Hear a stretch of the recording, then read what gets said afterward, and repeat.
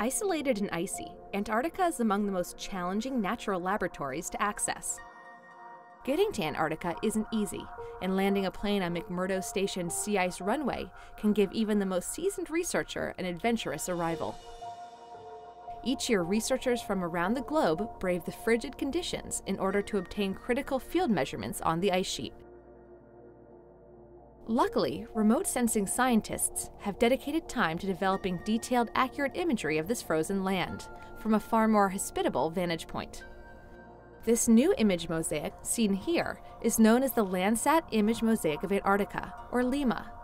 The spatial resolution of this satellite image you are seeing is 15 meters per pixel, the most detailed satellite mosaic of the rugged continent ever created.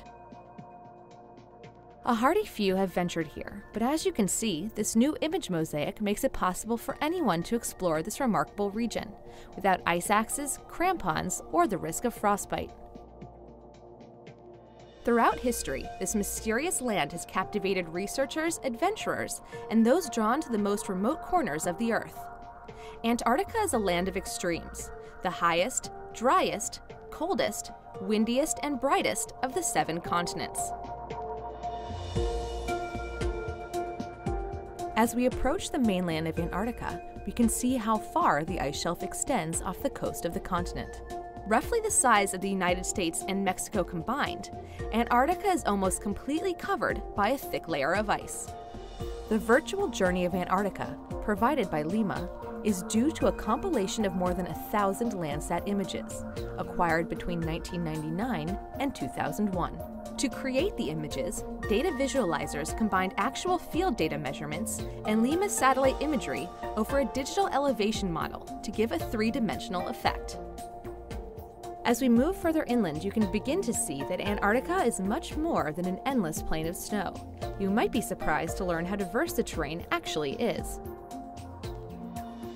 The ground beneath the Antarctic ice sheet is a mixture of mountains, plains, and ocean basins and the tallest mountains raise their rocky faces above the vast ice sheet.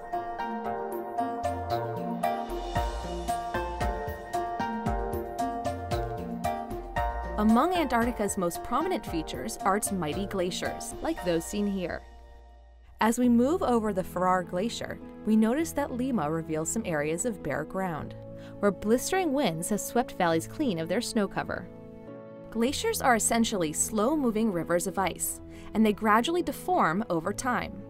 These masses of ice form when snow accumulates in a stretch of land over thousands of years.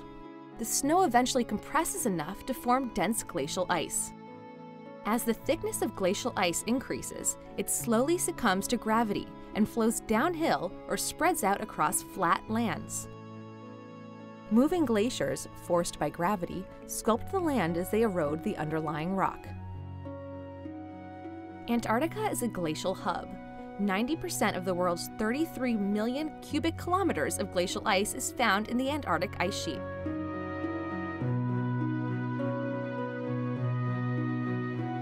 The telltale signs of glaciers are their flow stripes, which you can see in the many smaller glaciers feeding into the large Ferrar Glacier.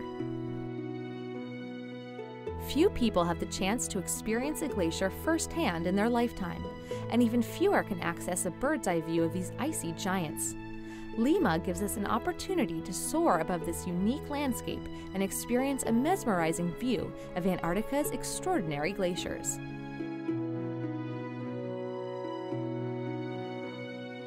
This region's relentless and powerful winds are responsible for one of Antarctica's most fascinating features blue ice. Ice absorbs a small amount of red light, but snow crystals are too small to show this light absorption effect. However, blue ice is comprised of larger ice crystals, which makes the red light absorption more obvious.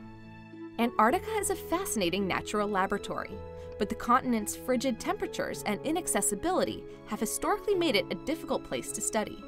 Now armed with the Landsat image mosaic of Antarctica, researchers hope to get a better view of Antarctica and to increase their understanding of this fascinating part of our planet.